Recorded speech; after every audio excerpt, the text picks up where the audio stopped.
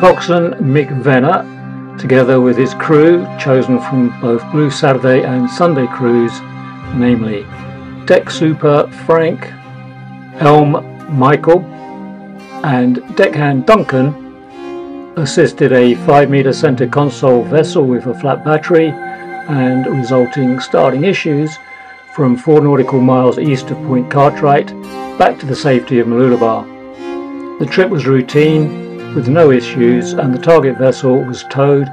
and then rafted to the public pontoon where a good battery was waiting to be installed